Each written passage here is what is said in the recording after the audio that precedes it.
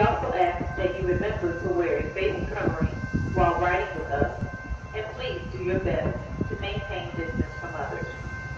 When you reach your destination, we will give you plenty of time to safely exit the train.